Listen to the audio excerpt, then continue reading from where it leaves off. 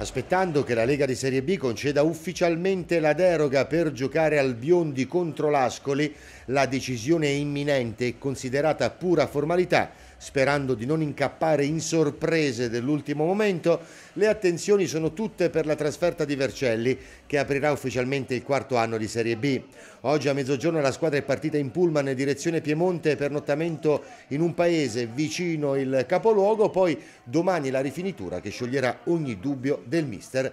Facile immaginare che D'Aversa si affiderà nelle prime battute ai giocatori che conosce meglio per stringere i denti e riportare a casa un risultato positivo.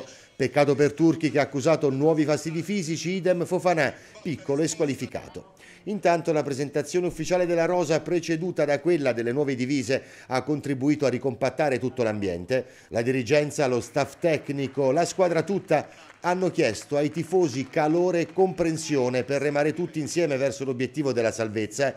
In particolare Guglielmo Maio ha riabbracciato la piazza e la sua gente, cancellando qualche incomprensione di mezza estate.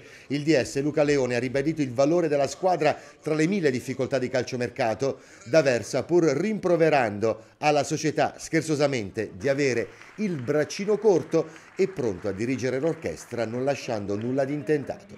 Ma adesso si volta pagina, è tempo di campionato. Provercelli la prima, l'Ascoli al debutto in casa e già si comincerà a dire qualcosa sulla quarta B.